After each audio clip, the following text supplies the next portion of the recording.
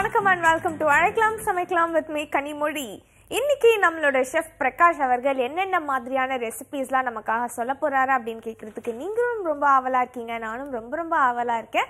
So நீங்களும் வித்தியாசமா கேட்கறதுக்குலாம் ரெடியா இருப்பீங்க. ஸோ நம்ம ஷெஃப் கிட்ட டைரக்டா பேசிடலாம். வணக்கம் ஷெஃப் வணக்கம்மா எப்படி இருக்கீங்க? நல்லா இருக்கேன் ஷெஃப் நீங்க எப்படி இருக்கீங்க? ரொம்ப நல்லா இருக்கும்மா. ஓகே இன்னைக்கு டிப் ஆஃப் தி டே என்ன ஷெஃப் இன்னைக்கு டிப் ஆஃப் தி டே வந்து இந்த ஏபிசி ஜூஸ் அப்படின்னு இருக்கு அது கேள்விப்பட்டிருக்கீங்களா? ஏபிசி ஜூஸ் தெரியலையே நான் இப்போ நான் சொல்றேன். அதை பத்தி தான் நான் சொல்ல ஷெஃப் ஏபிசி அப்படின்னு ஜூஸ் நிறைய கடைகள்ல இருக்கும். அதை நம்ம வந்து வீட்டில் செய்யலாம் அப்படின்ட்டு நிறைய பேருக்கு இன்ட்ரெஸ்ட் இருக்கும்ல. ஏனா ஆப்பிள் பினா பீட்ரூட் சினா கேரட் ஆப்பிள் பீட்ரூட் கேரட் அதில் எப்படி ஜூஸ் பண்ணணும் எவ்வளோ எவ்வளோ அளவு எடுத்துக்கிறது? ஒரு ஆப்பிள் பாதி பீட்ரூட்டு ஒரே ஒரு சின்ன கேரட் அவ்வளோதான் இது கூட சர்க்கரை சேர்த்துங்க. இல்லை வெல்லம் இல்லைன்னா தேன் இல்லைன்னா கருப்பட்டு எது வேணாலும் சேர்த்துக்கலாம். அது கூட கொஞ்சம் கொஞ்சமாக உப்பு சேர்த்திங்கன்னா ரொம்ப சுவை அதிகமாகவே இருக்கணும். ஆப்பிளையும் பீட்ரூட்டையும் தோலை எடுத்துருங்க. தோலை எடுத்துட்டு கட் பண்ணிவிட்டு மிக்சியில் போட்டு அரைச்சிட்டு சர்க்கரை தண்ணி எல்லாமே ஊற்றி அரைச்சிட்டு வடிகட்டிட்டு குடிச்சு பாருங்கள் அவ்வளோ சூப்பராக இருக்கும். உடம்புக்கு ரொம்ப ரொம்ப நல்லது. இதில் வந்து பால் தேங்காய் பால் காய்ச்சின பால் அதெல்லாம் எதுவும் வேணாம். தண்ணி மட்டும் போட்டால் போதும். இன்னொரு வாட்டி சொல்கிறேன் ஆப்பிள் பீட்ரூட்டு கேரட்டு சர்க்கரை தண்ணி கண்டிப்பாக எல்லாருமே ட்ரை பண்ணி பாருங்கள் ரொம்ப சூப்பராகவே இருக்கும். ஜூஸ்லயும் ஏபிசி வந்துருச்சா. இந்த ஆல்பபெட்ஸ்ல எல்லா இடத்துலயும் போகுது ஷெஃப் ஆமா. ஓகே இப்போ ஃபர்ஸ்ட் காலர் லைன்ல இருக்காங்க அவங்க கிட்ட பேசலாம். வணக்கம். ஹலோ. வணக்கம் உங்க பேர் சொல்லுங்க. என் பேர் ஜமுனா மேடம். எப்படி இருக்கீங்கம்மா? நல்லா இருக்கிறேன் மேடம் நீங்க நல்லா இருக்கீங்களா? என்ன போன வாரம் ஃபுல்லா நீங்க கால் பண்ணவே இல்லையே. பண்ணிருந்தேன் மேடம் லைன் குடு குடுத்துட்டு அப்புறமா லைன் கட் ஆயிடுச்சு மேடம். போன சாட்டர்டே பேசியிருந்தேன். அப்படிங்களா? லைன் கிடைச்சது வெயிட் பண்ணு சொன்னாங்க. அப்புறம் கட் பண்ணிடுச்சு கட் ஆயிடுச்சு. அது என்னன்னு தெரியல. ஓகேம்மா டைம் முடிஞ்சு போயிருக்கோம்னு நினைக்கிறேன். நாளா வேலை சரியா இருந்தது. வெளிய போற வேலை. சரிங்கம்மா அதனால உங்களுக்கு கான்டாக்ட் பண்ண முடியல. ஓகேம்மா இன்னைக்கு என்னம்மா ரெசிபி கேட்க போறீங்க? இந்த கடைகள் எல்லாம் பரோட்டா நிறைய எண்ணெய் ஊத்தி அந்த மாதிரி செய்யறாங்கல்ல மேடம் அது எப்படி பண்றது? அது மாதிரி பண்ணா நல்லா இருக்குமா? அது எப்படி அளவு? சரி அந்த நல்ல எண்ணெயில ஊற வச்சிடுற மாதிரி பண்றாங்கல்ல மேடம். எண்ணெய் ஊத்தி நல்லா பெசிறாங்க. சரி சரி சரி. ஓகே சார் வந்து சாதாரணமா பெசினாலே இல்ல, இது மாதிரி வந்தா நல்லா இருக்குமா? எப்படி கேட்கலாம்? பரோட்டா பத்தி மேடம். சரிங்கம்மா. ஷெஃப் இருக்காங்க. பேசுங்கம்மா. வணக்கம்மா. வணக்கம் சார் எப்படிம்மா இருக்கீங்க? நல்லா இருக்கிறேன் சார் நீங்க நல்லா இருக்கீங்களா? நல்லா இருக்கம்மா. இன்னைக்கு என்ன குழம்பு வச்சீங்க வீட்டில் எங்க வீட்டுல இன்னைக்கு சாம்பார் வச்சுட்டு அவரைக்காய் பொரியல் என்ன சாம்பார்? சாதா வெங்காயம் தக்காளி போட்டுதான் சார் காய் எதுவும் போடல. ஓ வெறும் சின்ன வெங்காயம் அந்த மாதிரி போட்டு இல்லைங்களா ஆமா ஆமா ஆமா சார் சரிம்மா. பரோட்டால என்னம்மா சந்தேகம்? வந்து நீங்க சொல்ற மாதிரி தான் இப்போ நான் பொடி பண்ணி போடுறேன். சாம்பார் பொடி கடையில வாங்குறது இல்லை இப்போ. சூப்பர்மா. ரொம்ப ரொம்ப நன்றிம்மா. நிறைய அசத்துங்க அந்த மாதிரி செஞ்சு. ஆ. ஆ நல்லா இருக்கு. பசங்களுக்கும் நல்லா இருக்கு. சரிம்மா. சரி அதுவே செட் ஆயிடுச்சு. அதே ஃபாலோ பண்ணிக்கிறேன். சூப்பர்மா. என்ன ஆச்சுமா பரோட்டா? பரோட்டா நல்லா தான் சார் வருது. இப்ப கடைங்கெல்லாம் நிறைய எண்ணெய் ஊத்தி ஊற வச்சு பண்றாங்களே. சரிம்மா. அது மாதிரி எப்படி சார் நம்ம வீட்லயே பண்ண முடியுமா? இல்ல அந்த கடைங்களுக்கு தான் அந்த மாதிரி வருமா? அப்படின்னு கேக்குறேன் சார். சரிம்மா கவனிங்க நான் சொல்றேன். கடைகள் எல்லாம் பார்த்தீங்கன்னா அந்த எண்ணெயில் எண்ணெய் வந்து அந்த பெரிய தோசைக்கல்லில் எண்ணெய் வந்து நிறைய ஊற்றிருப்பாங்க பரோட்டாவை அந்த சைடில் கல் அடுக்கியிருப்பாங்க. ஒன்று ஒன்றா போட்டுட்டு. வேணுங்கிற போது அந்த எண்ணெய் லேசாக போட்டு அப்படியே பரட்டி பரட்டி இப்படி வச்சுப்பாங்க. அந்த மாதிரி வீட்டில் பண்ணலாம்? தாராளமாக பண்ணலாம். அந்த நீங்கள் அந்த மாதிரி நீங்கள் செய்யும்போது வீட்டில் அந்த மாவு மிக்ஸ் பண்ணுறீங்களே அதில் கொஞ்சம் வெண்ணெய் கலந்துக்கிட்டு பண்ணீங்கன்னா கொஞ்சம் எண்ணெயை கம்மி பண்ணிக்கலாம். கண்டிப்பாக ட்ரை பண்ணி பாருங்கள் தேங்க்ஸ் ஃபார் காலிங் அடுத்த காலர் லைன்ல இருக்காங்க. வணக்கம். சமைக்கவும் சுவைக்கவும் கற்றுத்தரும் புதுவியம் தொலைக்காட்சியும் கனிமொழி செப்ராசி வணங்குது. வேளாங்கண்ணி வேளாங்கண்ணி சொக்கலிங்கம் சார். கரெக்ட்டுங்களா எப்படி இருக்கீங்க? நல்லா இருக்கேன். நீங்க எப்படி இருக்கீங்க? நாங்க எல்லாரும் ரொம்ப ரொம்ப நல்லா இருக்கோம் சார் என்ன ஸ்பெஷல் இன்னைக்கு உங்க வீட்ல? என்ன சமையல்? எங்க வீட்ல வந்து இன்னைக்கு கீரை தண்ணும் கத்திரிக்காயும் புளிக்குழம்பு. Oh super sir. வந்து பருப்பு போட்டு கூட்டு. ஓகே என்ன ரெசிபி கேட்க போறீங்க? அதாவது முட்டை பிரெட் குழம்பு நம்மள எக் பிரெட் குழம்புன்னு சொல்லி முட்டையை அவிச்சிட்டு கட் பண்ணிட்டு வச்சு குழம்பு வைப்பாங்க அதை பத்தி கேட்கணும் ஓகே ஓகே சார். ஷெஃப் இருக்காங்க பேசுங்க. சார் வணக்கம். சார் நல்லா இருக்கீங்களா? நல்லா இருக்கேன். நீங்க எப்படி இருக்கீங்க? ரொம்ப நாள் ஆச்சு இல்ல? ஒரு மூணு நாள் ஆச்சு. ஆமா நல்லா இருக்கேன் நல்லா இருக்கேன். சரி ஓகே. முட்டை குழம்பு தானே சார் கேட்டிருக்கீங்க? முட்டை பிரெட் குழம்பு. எக் மாதிரி வேக வச்சு கேக் மாதிரி பண்ணிட்டு கட் பண்ணிட்டு வைப்போம்ல அந்த குழம்பு. ஆ ஆ ஓகே ஓகே ஓகே சரி கவனிங்க நான் சொல்றேன். முட்டையை வந்து நீங்க ஃபர்ஸ்ட் அந்த அந்த மாதிரி செய்யறது ரொம்ப சூப்பராகவே இருக்கும். அவர் சூப்பரான கேள்வியும் கேட்டிருக்காரு. முட்டையை நீங்க என்ன பண்ணுங்க ஒரு ரெண்டு முட்டையோ இல்லை மூணு முட்டையோ உடைச்சிட்டு ஒரு பெரிய டம்ளர்லையோ இல்லை ஒரு பெரிய பாத்திரத்துலையோ போட்டுட்டு அதுலேயே மிளகுத்தூள் கொஞ்சமாக நைஸாக கட் பண்ண வெங்காயம் சின்ன வெங்காயம் சேர்த்துங்க. கொத்தமல்லி உப்பு இதெல்லாம் போட்டு மிளகுத்தூள் இதெல்லாம் உப்பெல்லாம் போட்டு நல்லா அடிச்சிருங்க. அடிச்சிட்டு ஒரு பாத்திரத்தில் தண்ணி வச்சிருங்க. ரொம்ப கம்மியாக இன்னொரு பாத்திரம் சும்மா ஒரு ட்ரே மாதிரி இருக்கோ இல்லை ஏதோ ஒரு போல் மாதிரி ஆனால் சின்ன மாதிரி இருக்கணும் இது இந்த நம்ம அடித்து வச்சிருக்கோம்ல ஆம்லேட்டை அதை அதுக்குள்ளே ஊற்றிட்டு அதை எடுத்து அந்த தண்ணிக்குள்ளே வச்சுட்டு நீங்கள் வேக வச்சு எடுத்தீங்கன்னா அந்த மாதிரி வெந்துடும் ஒரு பதினஞ்சு நிமிஷம் இல்ல இருபது நிமிஷம் ரெண்டு- ரொம்ப டைம் ஆகும். பட் ஆனா நல்லாவே வெந்துரும். அது வெந்ததை எடுத்ததுக்கு அப்புறமா கட் பண்ணிடுங்க. சின்ன சின்ன கேக் மாதிரியோ இல்ல எப்படி உங்களுக்கு சைஸ் இருக்கோ அது மாதிரி கட் பண்ணிட்டு நம்ம சாதாரண முட்டை குழம்பு வைப்போம்ல வச்சுட்டு அதுக்கப்புறமா இதுல சேர்த்து பாருங்களேன். அவ்வளவு சுவையா இருக்கும். கண்டிப்பா ட்ரை பண்ணி பாருங்க. நம்ம ஷோட அடுத்த காலர் லைன்ல இருக்காங்க. வணக்கம். வணக்கம். வணக்கம்மா. உங்க பேர் சொல்லுங்க. என் பேர் ஜெயலட்சுமி. எங்க இருந்து கால் பண்றீங்கம்மா? நாகர்கோவில் நாகர்கோவில். சரிங்கம்மா. எப்படி இருக்கீங்க? நல்லா இருக்கேன் நீங்க நல்லா இருக்கீங்களா நாங்க எல்லாரும் ரொம்ப ரொம்ப நல்லா இருக்கோம் நன்றிம்மா. சாப்பிட்டாச்சுங்களா? இல்ல என்னதான் என்ன சமையல் வீட்ல?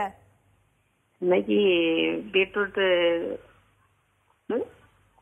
பருப்பு குழம்பு. மறந்து போயிட்டீங்களா டக்குன்னு? ஆமா.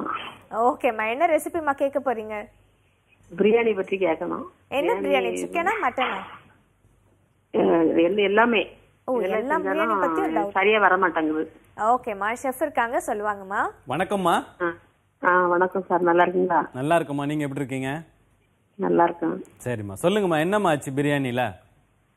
பிரியாணி வந்து டேஸ்டா வர மாட்டேங்குது உடனே அரிசி குழஞ்சு போயிருது. சரி. பாஸ்மதி அரிசி பாஸ்மதி அரிசியில செஞ்சு பார்த்தாலும் அதுலயும் சரி பாஸ்மதி அரிசியிலையும் அந்த மாதிரி இருக்கா? சரி ஓகே கட் ஆயிடுச்சு ஆமா லைன் கட் ஆச்சுன்னு நினைக்கிறேன். பாஸ்மதி அரிசியில் நிறைய பேர் சொல்றாங்க வந்து பிரியாணி வந்து சுவை இருக்க மாட்டேதுன்னு. சுவை கண்டிப்பா இருக்கும். ஸ்டெப் பை ஸ்டெப்பா போங்க. அது மாதிரி நிறைய வெங்காயம் நிறைய தக்காளி சேர்த்துக்க வேணாம். நிறைய மிளகாத்தூள் நிறைய தனியாத்தூள் சேர்த்துக்க வேணாம். ரொம்ப கம்மியா சேர்த்துக்கிட்டாவே போதும். அதுல இருக்கும் பிரியாணி வந்து குழம்பு மாதிரி கிடையாது. நம்ம நீங்கள் வெரைட்டி சாதம் பண்ணும்போதெல்லாம் பாருங்கள் நிறைய மசாலா சேர்க்கவே மாட்டீங்க. கொஞ்சம் தான் சேர்ப்பீங்க. ஒரு பச்சை மிளகா ரெண்டே ரெண்டு சேப்பு மிளகா. அந்த மாதிரி சேர்த்து செஞ்சு பாருங்கள் பிரியாணி. இப்போ பிரியாணி நீங்கள் வதக்கும்போது வெங்காயம் கம்மியாக இருக்கணும் தக்காளி ரொம்ப கம்மியாக இருக்கணும். தக்காளிக்கு பதிலாக அந்த புளிப்பெல்லாம் நம்ம சேர்க்குறோம்ல அதெல்லாம் ரொம்ப சுவை அதிகமாகவே இருக்கும்.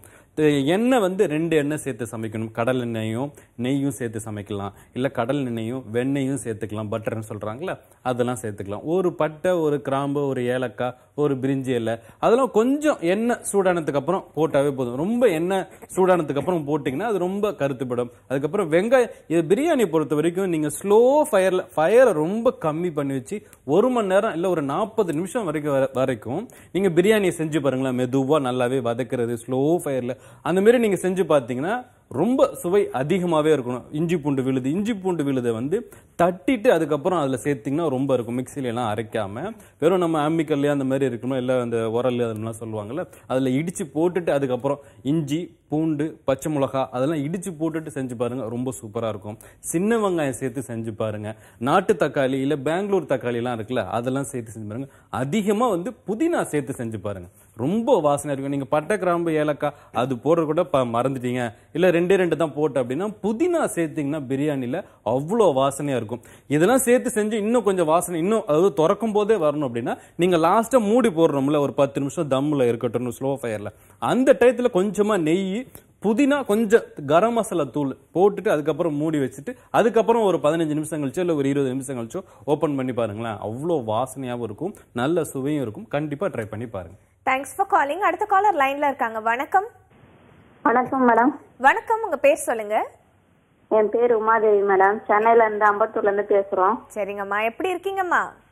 நல்லா இருக்கேன் மேடம். உங்களுக்கு கால் பண்ணி ஒரு நாளைக்கு எண்பத்தி ரெண்டு வாட்டி ஃபோன் பண்ணிடுறேன். ஆனா டவர் இதாக மாட்டேங்குது மேடம். லைன் கிடைக்க மாட்டேங்குது.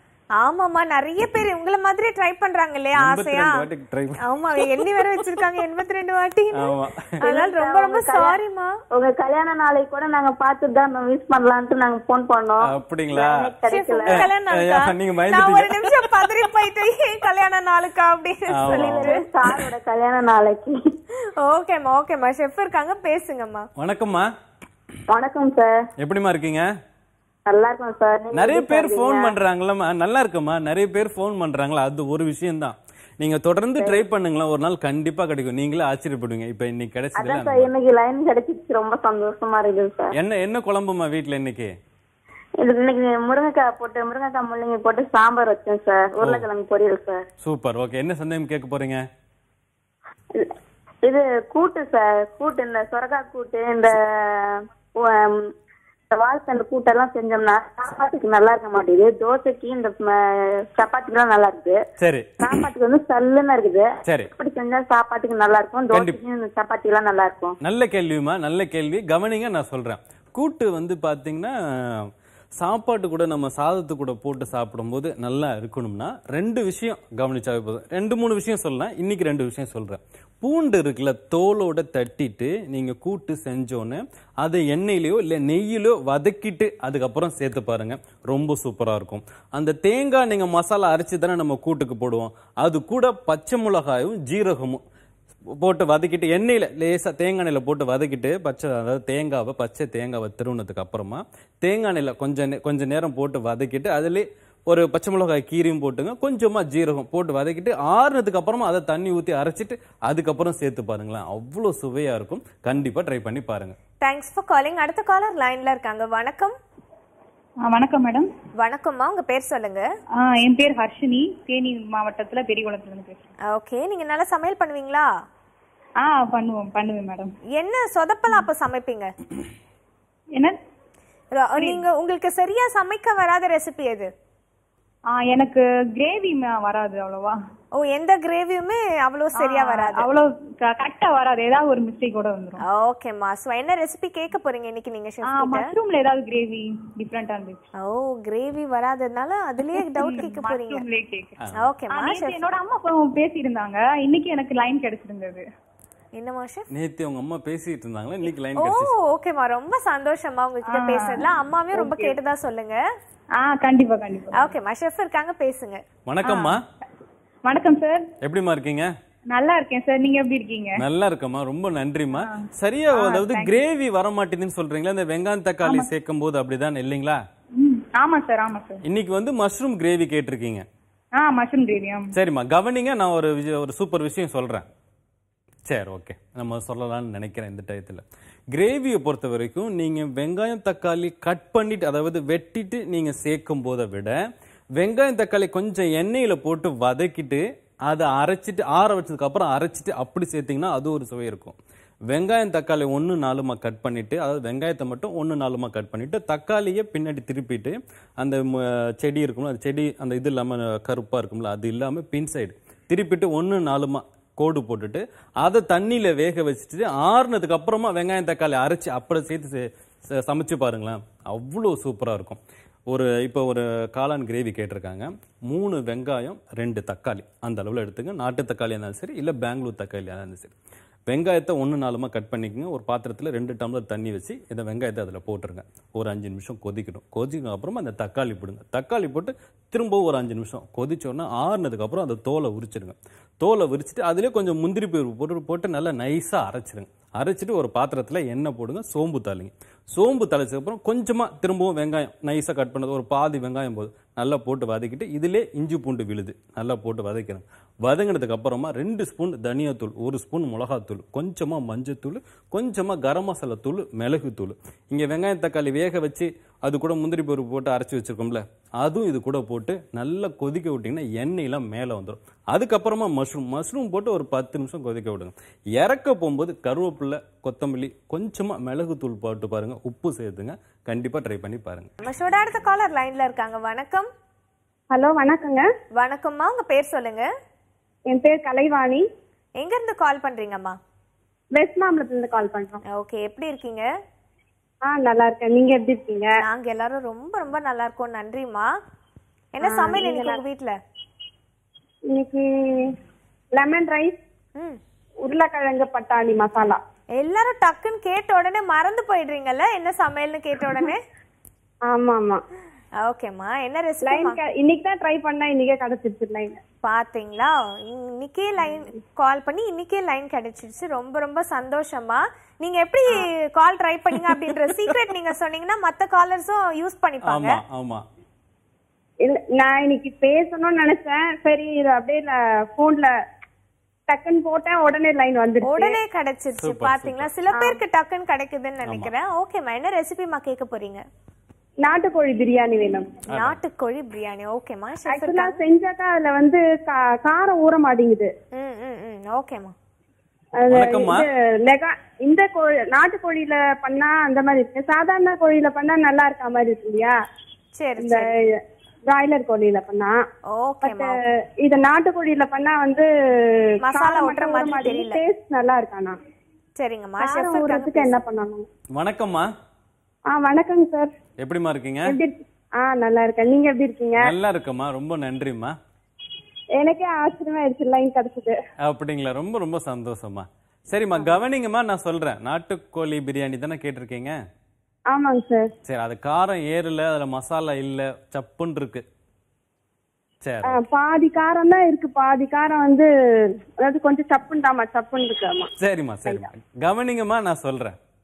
நாட்டுக்கோழி பிரியாணியில் எல்லா பிரியாணி பண்ணும்போது நான்வெஜ்ஜில் சொல்கிறேன் பிரியாணி பண்ணும்போது கொஞ்சமாக தயிர் எலுமிச்சம்பழம் ஊற்றிங்க நல்லா நல்லாவே இருக்கும். அது கூட வந்து சில்லி பவுடர் இஞ்சி பூண்டு விழுது கொஞ்சமாக மிளகாத்தூள் போட்டு மிக்ஸ் பண்ணிவிட்டு ஒரு ஒரு மணி நேரம் இல்லை அரை மணி நேரம் வச்சிருங்க. அதுக்கப்புறமா நீங்கள் ரைஸ் ஊற வச்சுட்டு அதுக்கப்புறமா பிரியாணி செஞ்சு பாருங்க ரொம்ப சூப்பராக இருக்கும். இது ஒரு மெத்தடு இன்னொரு மெத்தட் எப்படின்னா எப்படின்னா அந்த சிக்கன்லேயே இஞ்சி பூண்டு விழுது மிளகாத்தூள் கொஞ்சமாக கரம் மசாலா தூள் மைதா மாவு எலுமிச்சம்பழம் ஜூஸும் போட்டுங்க. மைதா மாவு சோள மாவு. மைதா மாவு ஒரு ஸ்பூனுனா சோள மாவு பாதி ஸ்பூன் அந்த அளவில் சேர்த்துட்டு மிக்ஸ் பண்ணிட்டு எண்ணெயில் பொரிச்சு எடுத்துருங்க. பாதி வெந்தா போதும் இல்லை நல்லா வெந்தாலும் பரவாயில்ல. வெந்ததுக்கு அப்புறமா எடுத்து வச்சுட்டு அதுக்கப்புறம் பிரியாணி செஞ்சுட்டு இது அது கூட சேர்த்து மசாலா கூட சேர்த்துட்டு அதுக்கப்புறமா பிரியாணி செஞ்சு பாருங்களேன். அவ்வளோ சுவையா இருக்கும். கண்டிப்பா ட்ரை பண்ணி பாருங்க. வணக்கம். Hello hello. வணக்கம். சாய்நாத் பேசுறேன் மேடம். அவங்க பேர் என்ன சார் சாய்நாத் பேசுறேன். ஓகே எங்க இருந்து கால் பண்றீங்க? நான் சென்னையில இருந்து பேசுறேன் மேடம். ஓகே எப்படி இருக்கீங்க சார் ஆ நல்லா இருக்கிறேன் மேடம். நீங்க நல்லா சமைப்பீங்களா? ஆ என்ன மேடம்? நீங்க நல்லா சமைப்பீங்களான்னு கேட்டேன் சார் நான் சமைக்கல மேடம். ஓகே சார் என்ன ரெசிபி போறீங்க? சாப்பிடணும் ஒரு ஆசை. அதனால தான் கேட்கிறேன். ஓ சரி என்ன ரெசிபி சார் கேட்க போறீங்க? மீன் குழம்பு மேடம். ஓகே ஷெஃப் இருக்காங்க சொல்லுவாங்க சார் சார் வணக்கம். ஆ வணக்கம் சார். எப்படி இருக்கிறீங்க? ரொம்ப நாள் ஆச்சு உங்களை பார்த்து. ஆமா சார் நல்லா இருக்கேன். நீங்க எப்படி இருக்கீங்க? ஆ நல்லா இருக்கிறேன் சார் நல்லா சரி சார் கவனிங்க சார் நான் சொல்றேன். மீன் குழம்பு கேட்டிருக்காங்க. மீன் குழம்பு நிறைய பேர் கேட்குறாங்க ஒன்று தண்ணியாயிடும் இல்லைன்னா அதோட சுவை வராது. பூண்டு சேர்த்து பாருங்க. ரொம்ப சூப்பராக இருக்கும். என்ன தாளிக்கிறீங்களே? கடுகு ஜீரகம் வெந்தயம் போட்டு தாக்குறீங்க தாளிக்கிறீங்களே?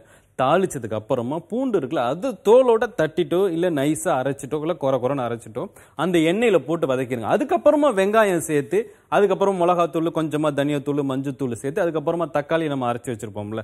தக்காளி சேர்த்து பாருங்கள் இல்லை நைஸாக கட் பண்ண தக்காளி சேர்த்து பாருங்கள் புளி வந்து லாஸ்ட்டாக குழம்பு ரெடி ஆயிடுச்சு. புளியை லாஸ்ட்டாக சேர்த்து பாருங்களேன். அவ்வளோ சுவையாக இருக்கும். கண்டிப்பாக ட்ரை பண்ணி பாருங்க. தேங்க்ஸ் ஃபார் காலிங் ரொம்ப ரொம்ப நன்றி ஷெஃப் சூப்பரான ரெசிபில எங்களுக்கு சொன்னதுக்கு நன்றி. கால் பண்ண எல்லா வியூவர்ஸ்க்கும் ரொம்ப ரொம்ப நன்றி. இதே மாதிரி வேறொரு இன்ட்ரெஸ்டிங்கான எபிசோட்ல சந்திக்கிறேன். அதுல this is Kanimozhi signing off நாளைக்கலாம் சமைக்கலாம்.